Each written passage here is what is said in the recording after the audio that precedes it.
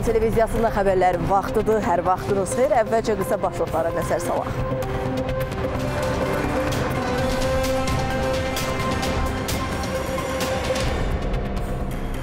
Prezident İlham Əliyev Millətlər Birliyinin baş katibini, Tuvalu'nun general qubernatorunu, Tongo Krallığının baş nazirini və Baham Adaları Birliyinin xarici işlər nazirini qəbul etdi. Ermənistanda aksiyaçılarla polis arasında qarşıdurma yaşandı. Baş nazir Nikol Paşinyan Təhlükəsizlik Şurasının növbədən kənar iclasını çağırdı. Hərbi Hava Qüvvələrimizin heyəti Türkiyədə Anadolu Ankasında, Konyada təlimlər davam edir. Sonuncu günü ilə Laçında davam edən Xara Bülbül festivalından rəngarəng görüntülər, təfərrüatlar birazdan. Qeyri-sabit hava davam edəcək, leysan xarakterli yağışlar gözlənilir. İndi isə daha ətraflı. Prezident İlham Əliyev bugün Millətlər Birliyinin baş katibi Patricia Scotland'ı qəbul edib. Ölkəmizə səfərindən məmnunluğunu bildirən Patricia Scotland səfərinin Azərbaycan xalqının ümumilli lideri Heydər Əliyevin anadan olmasının il dönümünə təsadüf etməsini xüsusi qeyd edərək Ulu Öndərin və görkəmli oftalmoloq alim akademik Zərifə Əliyevanın məzarlarını ziyarət etdiyini bildirdi. Dahi şəxsiyyətin və onun ömürgün yoldaşının Azərbaycanın inkişafına verdiyi töhfələrə toxundu. Patricia Scotland ölkəmizin qoşulmama hərəkatına uğurlu sədrliyini məmnunluqla qeyd etdi. Bunun özünü xüsusilə COVID-19 pandemiyası zamanı göstərdi göstərdiyini vurğuladı. O, Uqandada hərəkatın zirvə toplantısında iştirak etdiyini deyərək, orada bütün dövlətlər tərəfindən Azərbaycanın sədrliyinin çox yüksək qiymətləndirildiyini və ölkəmizin sədrliyinin praktiki nəticələrinin olduğunu qeyd etdi. Qonaq Azərbaycanın hərəkata uğurlu sədrliyi ilə bağlı bir daha təbriklərini çatdırdı. Xoş sözlərə görə minnətdarlığını bildirən Prezident İlham Əliyev Patricia Scotlandın ölkəmizdən xoş təəssüratlarla ayrılacağına ümidvar olduğunu dedi. Dövlətimizin başçısı Azərbaycanın qoşulmama hərəkatına sədrliyi çərçivəsində səmərəli fəaliyyət göstərdiyini, hərəkatın təsisatlanması istiqamətində mühüm addımlar atdığını vurğuladı. Pandemiya dövründə COVID-19 ilə bağlı BMT Baş Assambleyasının xüsusi sessiyasının çağırılması təşəbbüsünün ölkəmizə məxsus olduğunu xatırladan Prezident İlham Əliyev Azərbaycanın 80-dən çox ölkəyə, xüsusilə qoşulmama hərəkatına üz dövlətlərə COVID-19 ilə bağlı yardım göstərdiyini, vaksin millətçiliyinə qarşı BMT təsisatlarında müvafiq qətnamələrin qəbul olunmasını təmin etdiyini, bununla mübarizə istiqamətində beynəlxalq aləmdə səyləri birləşdirmək üçün fəaliyyət göstərdiyini vurğuladı. Prezident İlham Əliyev qeyd etdi ki, Azərbaycanın qoşulma hərəkatına 3 illik sədrliyi üz dövlətlərin dəstəyi ilə daha bir il müddətinə uzadılmışdı. Azərbaycan prezidenti ölkəmizin hərəkata sədrliyi dövründə əldə etdiyi beynəlxalq təcrübənin iqlim dəyişikliyi ilə bağlı istifadə edəcəyini, bu məsələdə də səylərini davam etdirəcəyini dedi. İqlim dəyişikliyindən əziyyət çəkən ölkələrə ədalətli yanaşmanı nümayiş etdirəcəyini bildirdi. Dövlətimizin başçısı vurğuladı ki, dünya ictimaiyyətinin yekdil dəstəyi ilə ölkəmizin COP29-a sədrlik etməsi və bu tədbirin Azərbaycanda keçirilməsi ilə bağlı qərar qəbul olunub. Azərbaycanın qoşulma hərəkatının sədrlik üçlüyündə yer aldığını deyən Prezident İlham Əliyev COP çərçivəsində də üçlük mexanizminin yaradıldığını qeyd edərək, bu istiqamətdə Birləşmiş Ərəb Əmirlikləri, Azərbaycan və Braziliyanın birlikdə fəaliyyət göstərdiklərini, müxtəlif regionlarda yerləşmələrinə baxmayaraq COP gündəliyinin birgə irəli aparılması üçün çalışdıqlarını vurğuladı. Azərbaycan prezidenti ölkəmizin Millətlər Birliyi təşkilatı ilə əlaqələri inkişaf etdirməkdə maraqlı olduğunu bildirdi. Qonaq Millətlər Birliyi təşkilatının üzvlərinin 33-ünün məhz kiçik ada dövlətləri olduğunu deyərək, həmin ölkələrin iqlim dəyişikliklərinin mənfi fəsadlarına ən çox məruz qalan, hətta iqlim dəyişikliklərinə görə mövcudluqları sual altında olan dövlətlər olduğunu vurğuladı. Azərbaycanın kiçik ada dövlətlərinin və az inkişaf etmiş ölkələrin problemlərinə COP29 sədrliyi çərçivəsində xüsusi diqqət yetirəcəyini deyən Prezident İlham Əliyev qeyd etdi ki, ölkəmiz onların problemlərinin həllinə öz töhfəsini verməyə hazırdır. Bu xüsusda Azərbaycanla Millətlər Birliyi Təşkilatı arasında birgə əməkdaşlıq layihələri və COP29 çərçivəsində kiçik ada dövlətlərinə həsr olunmuş xüsusi iclasın keçirilməsi məsələləri müzakirə olundu. Prezident İlham Əliyev bugün Tuvalu'nun general qubernatoru Falani Tofinqanın Tonga Krallığının baş naziri Savaleni Siaosi Ofaki Fahadefauno Baham Adaları Birliyinin Xarici İşlər Naziri Mitchell Frederick Audley qəbul edib. Bununla bağlı hazırlanan geniş reportaja bugünkü proqramımızda baxa bilərsiniz.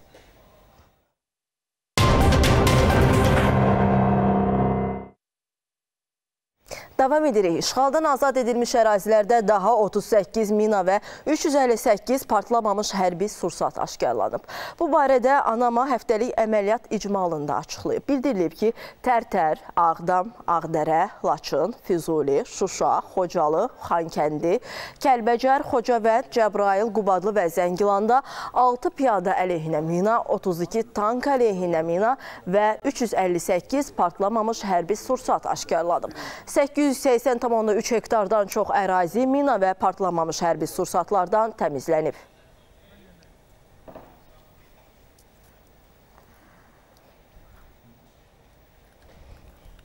Anadolu Ankası 2024 beynəlxalq axtarış xilas etmə təliminin növbəti tapşırıqları yerinə yetirilib. Türkiyənin Konya şəhərində keçirilən təlimdə ölkəmizi hərbi hava qüvvələrinin paraşüt, desant və axtarış xilas etmə xidmətinin heyəti, aviasiya vasitələri, həmçinin hərbi dəniz qüvvələrinin xüsusi təyinatları təmsil edirlər.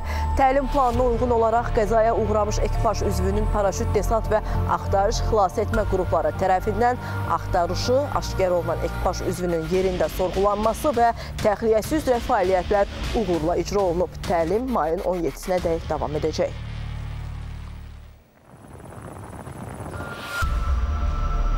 Ermənistandakı gündəmə də nəzər salaq İrəvanda hökumət əleyhinə etiraz aksiyaları davam edir. Aksiyalarda polislə qarşı durma yaranıb. Erməni Apostol kilsəsinin Tavuş yeparxiyasının rəhbəri Baqrat Qalsanyanın başçılıq etdiyi aksiya iştirakçıları polisə müqavimət göstərib. Son məlumatlara əsasən saxlanılan nümayişçilərin sayı 180-i keçib. Etirazçıların əsas qüvvəsi isə revanşist kütlədən təşkil olunub. Erməni fəallarının bildirdiyinə görə kilsə ilə Ermənistanın hazırki hökumət arasında problemlər yeni deyil. Bu problemlər baş nazir Nikol Paşinyanın hakimiyyəti dövründə hər zaman özünü büruzə verib. Erməni Apostol kilsəsi hökumətin siyasətini bölüşmür. Vəziyyətlə əlaqədar baş nazir Nikol Paşinyan növbədən kənar təhlükəsizlik şurasının iclasını çağırıb.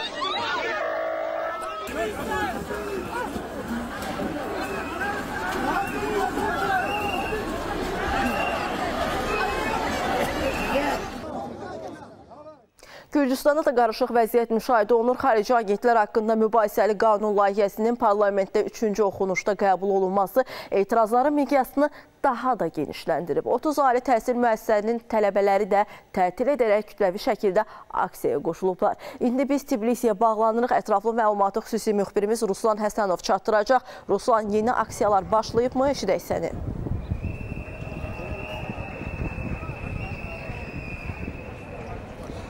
Bəli, bugün səhər saatlarında Gürcistan Parlamentinin Hüquq Komitəsi sözü gedən qanun layihəsini, yəni xarici təhsillərin şəffaflığı haqqında qanun layihəsini qəbul etdi və artıq sabah parlamentdə qanun layihəsinin detalları müzakirə olunacaq. Və qanun layihəsinin qəbuluna etirazını bildirən yəni etirazçılar, aksiyaçılar dünən axşam saatlarından səhər saatlarına dək gördüyünüz bu parlament binasının ətrafına toplaşdılar və səhər saatlarına qədər e, onların etiraz aksiyası davam etdirildi və səhər saatlarında artıq e, hüquq mühafizə orqanlarının əməkdaşları, yəni Gürcistan polisi aksiyaçılara e, dağılmasını təklif etdi. Lakin etirazçılar buna məhəl qoymadılar və qarşı durmalar yaşandı və qarşı durmalar nəticəsində qeyd etdiyim kimi 20-yə yaxın şəxs həbs olunmuşdu. Daha sonra isə etiraz aksiyası Çinadze və Jivanya e, küçələrinin kəsişməsində də e, polislə, yəni hüquq mühafizə orqanlarının əməkdaşları ilə e, qarşı durma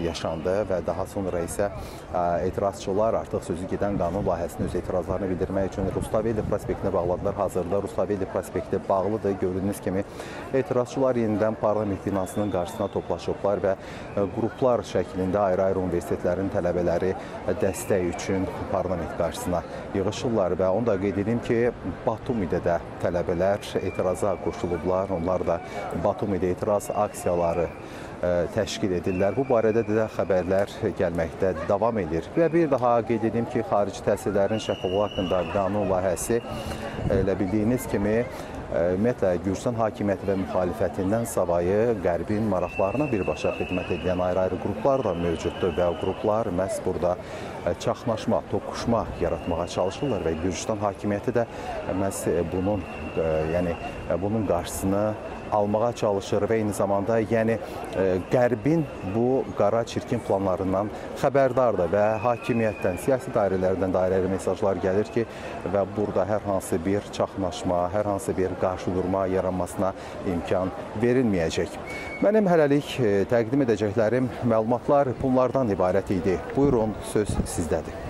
Bəli, bu Ruslan Həsənov idi. Gürcüstandakı qarışıq vəziyyət barədə bizə ətraflı məlumat verdi. Biz də dünya gündəmi ilə davam edirik. Ukrayna hərbiçiləri Rusiyanın alligator kimi tanınan K-52 tipli helikopterini vurub. Bu barədə ölkənin 47-ci mexanikləşdirilmiş briqadasından məlumat verilib. Hərbi mütəxəssislərin e, bildirdiyinə görə dəyəri 16 milyon dollar olan helikopter ərazinin kəşfiyyatı, bir qrup digər helikopterin hərəkətlərini hədəfə almaq və əlaqələndirmək üçün nəzərdə tutulub. O həmçinin zirehli texnika, canlı qüvvə və hava hədəflərini vura bilir. Xatırladaq ki, fevral və martın əvvəllərində Ukrayna hərbi hava qüvvələri 14 Rusiya təyyarəsinin məhv edilməsi barədə açıqlamalar verib.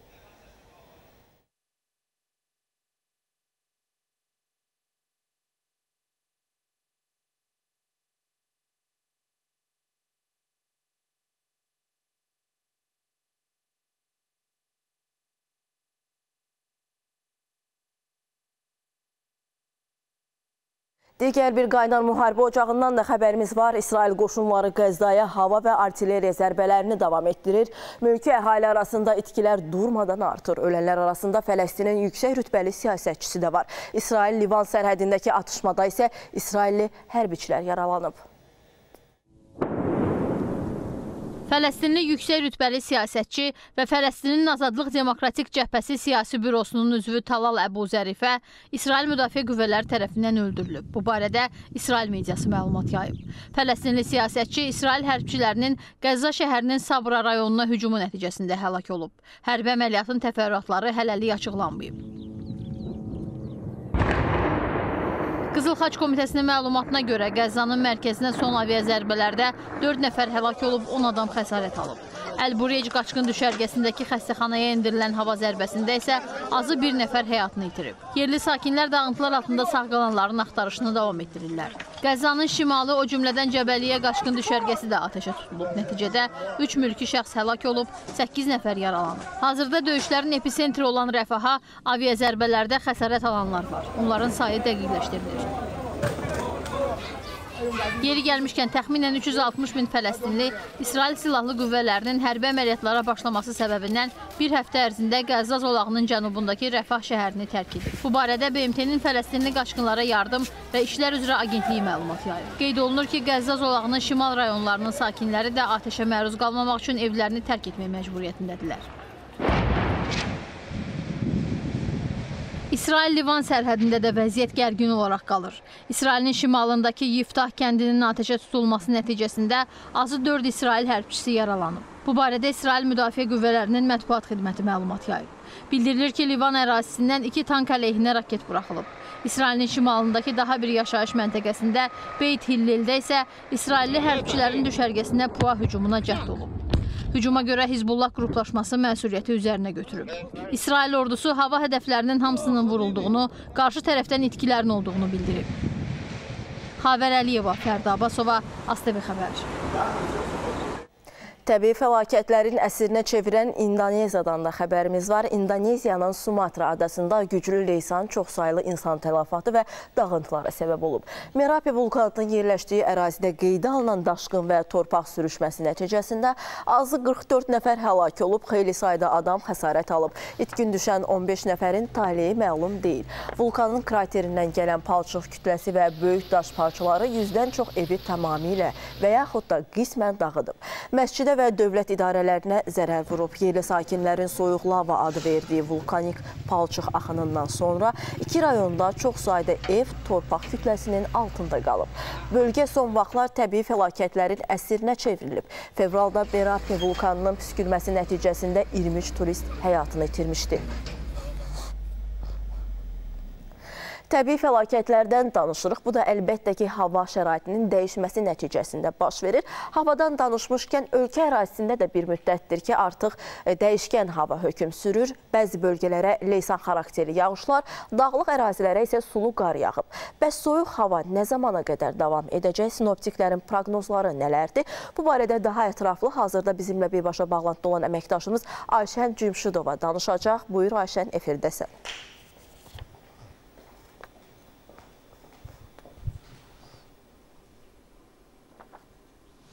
Bəli, hazırda biz Milli Hidrometeorologiya Xidmətinin situasiya mərkəzindəyik. Bildiyimiz kimi bir neçə gündür ölkə ərazisində küləkli hava şəraiti müşahidə olunur və eyni zamanda bir sıra ərazilərimizə dolu düşüb və yağışlı hava da ə, e, davam edir. Ümumiyyətlə bu gün və qarşıdakı günlərdə hava şəraiti necə olacaq? Bu haqqında bizə daha ətraflı Hidrologiya Mərkəzinin direktor müavini Şəbnəm Şəbnəm xanım, buyurun söz sizdədir. Salam, hər vaxtınız xeyir. Bu gün Bakıda və Abşeron yarımadasında dəyişkən buludlu əsasən yağmursuz hava şəraitinin davam edəcəyi gözlənilir. Arabir güclənən şimal-qərb küləyi sabah gündüz saatlarında mülayim şimal-şərq küləyi ilə əvəz olunacaq. Havanın maksimal temperaturu 15-20 dərəcə isti olacaq. Azərbaycanın rayonlarında da qeyri-sabit hava şəraitinin davam edəcəyi gözlənilir. Bəzi yerlərdə arabir yağış yağacağı gözlənilir. Ayrı-ayrı yerlərdə yağıntıların leysan xarakterli intensiv olacağı, dolu düşəcəyi, şimşək çaxacağı yağacağı, dağlıq ərazilərdə qar yağacağı ehtimal olunur. Mülayim qərb küləyi əsəcək. Havanın maksimal temperaturu Aran rayonlarında 15-18 dərəcə isti, dağlıq rayonlarda 5-8 dərəcə isti olacaq.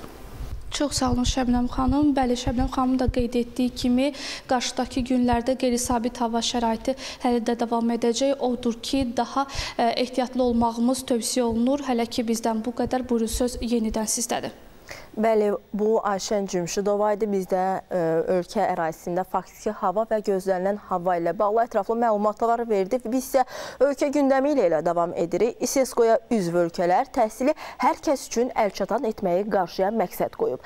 Şagird nailiyyətlərinin qiymətləndirilməsi ilə bağlı beynəlxalq tədqiqatların təşkil olunmasında Azərbaycan da dəstək göstərir.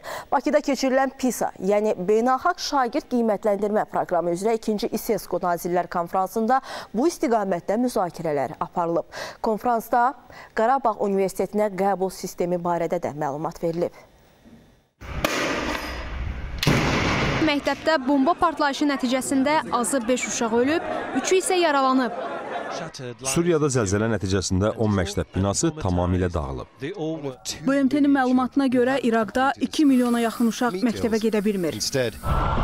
Müharibələr, təbii fəlakətlər, iqtisadi böhran. Təəssüf ki, hər kəs dünyaya eyni şərtlər altında göz açmır. Bu isə həyatlarının hər sahəsi kimi təhsil imkanlarına da təsir göstərir.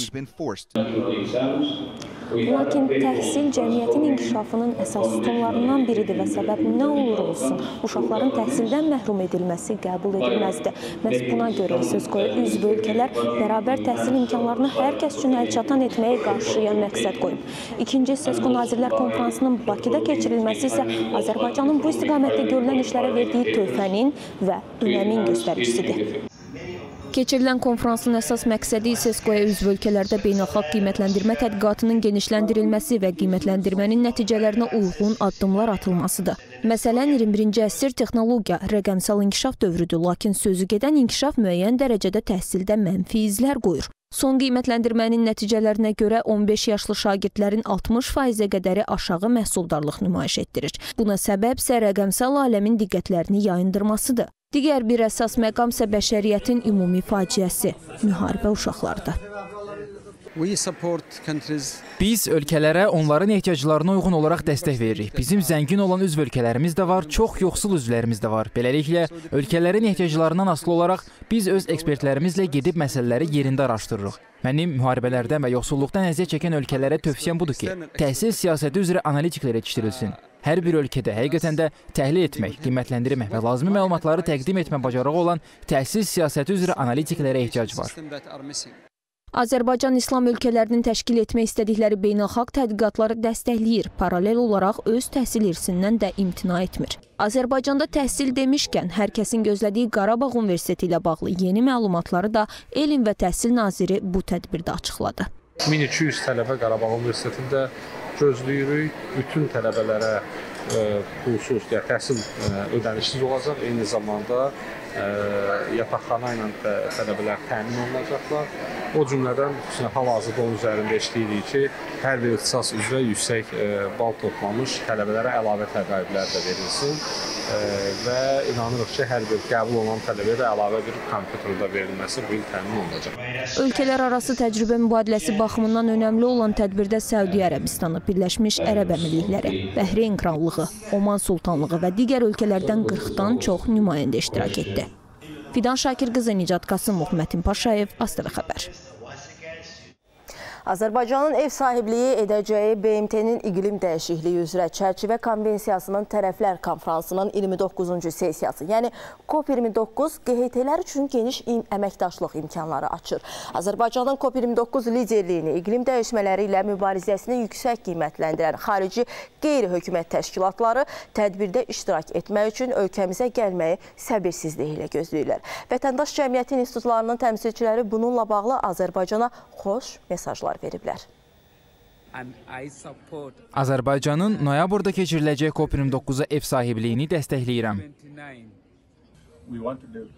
Biz Azərbaycanın vətəndaş cəmiyyətinin üzvləri ilə tərəfdaşlıq qurmaq istəyirik. Ona görə COP29-u səbirsizliklə gözləyirik. Bakıda keçiriləcək COP digərlərindən fərqli olacaq.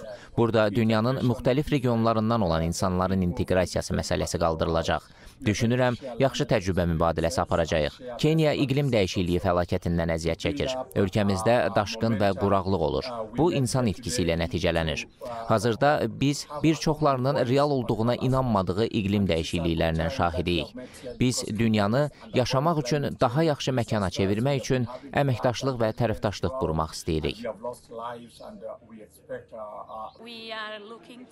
COP29-u səbirsizliklə gözləyirik. Gələn il isə COP30 Braziliyada keçiriləcək. Ümid edirəm birlikdə faydalı çalışacağıq. Azərbaycana uğurlar arzulayıram. Azərbaycanın COP29-a sədrliyini dəstəkləyirəm və tədbirdə iştirak etməyi həyəcanla gözləyirəm. İqlim dəyişikliyi ilə mübarizəyə töhfə vermək üçün hər kəsi bu tədbirə qoşulmağa çağırıram. Biz Kenyanın paytaxtı Nairobidə 2024-cü il vətəndaş cəmiyyəti konfransında iştirak edirik. Noyabrda Bakıda keçiriləcək COP29-da iştirak etməyi planlaşdırırıq. Görüşənədək.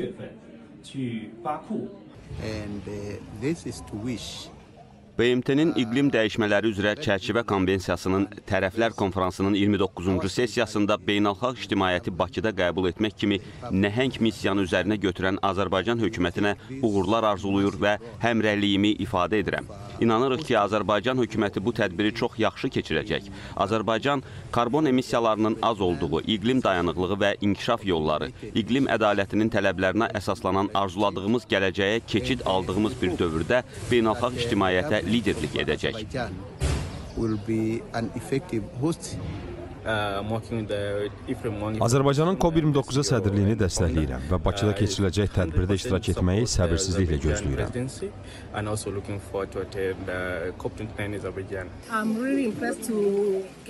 Azərbaycanın COP-a sədrlik edəcəyinə sevinirəm. Kenyadan olan nümayəndələr əməkdaşlığı səbirsizliklə gözləyirlər. Noyabrda sizinlə görüşmək arzusu ilə. Azərbaycanın ev sahibliyi edəcəyi COP29 bundan əvvəlki COP-lardan fərqlənəcək. Biz yerli ictimai təşkilatların iqlim dayanıqlığına nail olunması ilə bağlı tədbirlərə cəlb edilməsinin reallığa çevrilməsi imkanlarını müzakirə edəcəyik.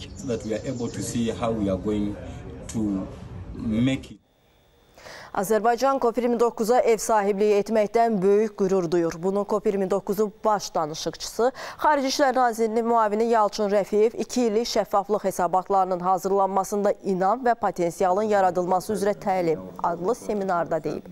O qeyd edib ki, ölkəmizin COP29-a ev sahibliyi etməsi ilə bağlı qərar mürəkkəb qlobal problemlərin həllində beynəlxalq əməkdaşlığın gücünə inamla irəli gəlir. Biz bununla bağlı məsuliyyəti dərk edirik. Eyni zamanda iqlim məsələləri məsələlərinin bir-biri ilə əlaqəli olduğunu anlayırıq və inanırıq ki, qlobal əməkdaşlıq və dialoq vasitəsilə biz kollektiv şəkildə effektiv həll yolları müəyyənləşdirə bilərik. Qeyd edək ki, Bakıda Azərbaycanın COP29-da sədrliyi çərçivəsində şəffaflığa dair 2 illik hesabatların hazırlanması zamanı etimadın möhkəmləndirilməsi və potensialın kəşf edilməsi üzrə təlim seminarı işə başlayıb.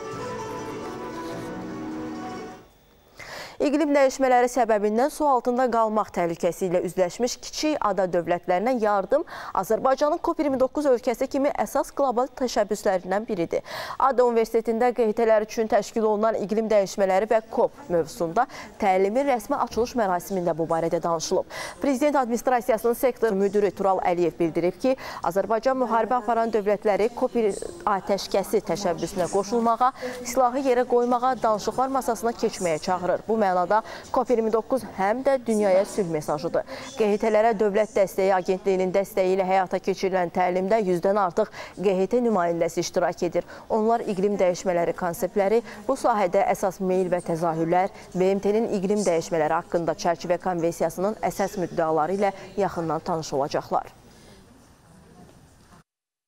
Belə bir tədbirin Azərbaycanda keçirilməsi həqiqətən çox önəmli və vacib bir məsələ idi. Çünki ətraf mühitin bildiyimiz kimi Ermənistanın Azərbaycana qarşı törətdiyi o ekoloji terrorun artıq biz bütün dünyaya səsimizi qaldıra bilərik və haykıra bilərik. Vətəndaş cəmiyyəti olaraq bununla bağlı, COP29 ilə bağlı əlimizdən gələni əsirgəmirik, öz e, hər yerdə tədbirlər keçirdirik. Heydər Əliyev Fondu və Mədəniyyət Nazirliyinin təşkil etdiyi Xarı Bülbül 7-ci Beynəlxalq Musiqi Festivalı bugün başa çatacaq. Musiqi bayramının son günü Laçın şəhərində keçirilir. Festival Həkəri çayı ətrafında iştirakçıları və qonaqları bir araya gətirib. Ənənələrin valideynindən övlada keçməsindən, gənc nəslin milli dəyərlərə sevgi və sədaqətindən qaynaqlanan Sələflər və Xələflər layihəsi təqdim olunub. Konsert proqramında Azərbaycanın tanınmış incəsənət ustalarının onların sənətini davam etdirən övladları, yetirmələri ilə birgə çıxışları təqdim edilib. Layihə milli musiqimizin, mədəniyyətimizin, ənənələrimizin yaşadılması üzərində qurulub. Qürur verici bir gündür. Mən özümü çox xoşbəxt, çox bəxtəvər hiss edirəm. Çünki 30 neçə ildən sonra Laçına gəlmişəm. Bu Laçının bu gözəlliyini görəndən sonra məni heyrət bürüdü. Deyirəm, ilahi, gözəl Allahım, sən gör neynədin, Azərbaycanı cənnət məkan elədin. Həqiqi mənada Laçına baxdıqca bütün dünyada bizi sevənlər fərəh duyacaqlar. İnsana bir yuxu kimi gəlir, burada çıxış eləmək. Allah bütün şəhidlərimizə rəhmət eləsin və xüsusidir təbii ki, burada oxumaq, atamla burada olmaq. Bu il Azərbaycanda 46 uşaq övladlığa verilib, onlardan 24-ü oğlan, 22-si qızdır. Uşaqların övladlığa verildiyi ailələrdə vəziyyətinin öyrənilməsi üçün onlar 18 yaşına çatana dək övladlığa götürmənin birinci ilində hər rüb, növbəti illərdə isə ildə bir dəfə olmaqla monitorinqlər aparılır. Əmək və Əhalinin Sosial Müdafiəsi Nazirliyinin tabeliyindəki Sosial Xidmətlər Agentliyi reinteqrasiya tədbirlərini də davam etdirir. Bu il dövlət uşaq müəssisələrindən 33-ü oğlan, 25-i qız olmaq olmaqla 58 uşaq ailələrinə qaytarılıb.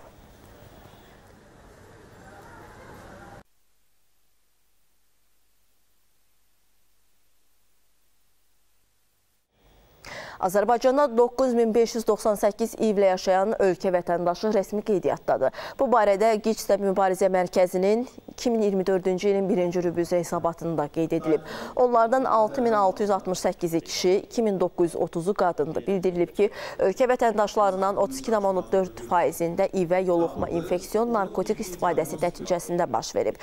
4,2 faizində yoluxma yolu ilə 1,4 faizində anadan uşağa keçdiyi qeydə alınıb. Azərbaycanda Hazırda bu infeksiya əsasən yoluxmaya yüksək riskli qruplar arasında yayılıb. Global sağlamlıq problemi olaraq qalır. Üsulu tapıldı. Nəzərə almaqla ki, bu virus Bu təlim proqramı e, e, insan immun çatışmazlığı e, adı eləyərək qulaqçıqlar İlk dəfə evə yoluxmuş şəxs 1987-ci ildə Azərbaycanda aşkarlanmışdır və o dövrdən 2024-cü ilin birinci rübünün sonuna qədər 9598 nəfər Azərbaycan vətəndaşı mərkəzin e, qeydiyyatındadır. Bunların 70%-i kişilər, 30%-i isə qadınlardır. Və bu şəxslərdə e, antiretrovirus terapiya proqramına cəlb olunmuş, müalicələrini davamlı şəkildə davam etdirirlər. Periodik olaraq mərkəzimizə gəlib gedirlər, müayinədən keçirlər. Estetik cərrahiyyə və kosmetoloji fəaliyyət sayəsində qanun pozuntularına yol verən şəxslər məsuliyyətə cəlb olunub. Bu barədə Baş Prokurorluğun mətbuat xidməti məlumat yayıb. Faktlarla bağlı İnzibati Xətalar Məcəlləsinin müvafiq maddələri ilə inzibati xəta haqqında 14 icraat başlanıb. Qeyd olunan sahədə qanunvericiliyin tələblərinə riayət olunması istiqamətində birgə araşdırmalar aparılıb. Araşdırmalar zamanı estetik cərrahiyyətləri icra edən, kosmetoloji xidmətlər göstərən ümumilikdə 9 klinika və kosmetoloji mərkəz tərəfindən sağlamlığın qorunması sahəsində vətəndaşların hüquqlarının pozulması, yəni əmək müqaviləsi hüquqi qüvvəyə minmədən fiziki şəxslərin işlərin yerinə yetirilməsinə cəlb olunması, lisenziya olmadan özəl tibbi fəaliyyətlə və ya əczaçılıqla məşğul olma, qanunvericiliyə uyğun olaraq sertifikasiyadan keçməyən şəxslərin praktik tibb və əczaçılıq fəaliyyətinə buraxılması halları müəyyən edildiyindən İnzibati Xətalar Məcəlləsinin müvafiq maddələri ilə tibb müəssisələrinin vəzifəli şəxsləri barəsində inzibati xəta haqqında 14 icraat başlanılıb. Qadınlar və yollar özünə doğru yol layihəsi bu dəfə Azərbaycanda həyata keçiriləcək. Belə ki, Kiçik və Orta Biznesin İnkişafı Agentliyinin dəstəyi ilə Bakıda və regionlarda avtoyürüş vasitəsilə müxtəlif sahələrdə çalışan qadınlarla görüşüb, onlar haqqında film hazırlanacaq. Layihə çərçivəsində indiyədək müxtəlif ölkələrdə 4 film çəkilib. Bu dəfə Bakıdan start götürən Qadınlar və Yollar özünə doğru yol avtoyürüşü mayın 17-sinə dək davam edəcək. Yürüyüş paytaxtla yanaşı İsmailinin Basqal və Lahıc qəsəbələrini, Qəbələ, Şəki şəhərlərini və Qobustanı əhatə edəcək. Qadınlar və Yollar layihəsinin məqsədi ölkəmizin işgüzar və yaradıcı qadınların fəaliyyəti barəsində danışmaqdır və ümumiyyətlə qadınlar hansı sahələrdə nəyə nail olduqlarını beynəlxalq auditoriyanın diqqətinə çatdırmaqdır. Medianın İnkişafı Agentliyi yeni müsabiqə elan edib. Müsabiqədə media reyestrində daxil olan ictimai, siyasi və idman məzmunlu kütləvi informasiya dərc edən onlayn media subyektləri iştirak edə bilərlər. Müraciət və əlavə sənədlər elektron formada mayın 23-nə dək agentliyə təqdim olunmalıdır. Sonda qaliblə agentlik arasında həmin subyektlərin hər birinə aylıq 3000 manat məbləğində maliyyə yardımının göstərilməsinə dair müqavilə imzalanacaq və 6 ay müddətində qüvvədə olacaq.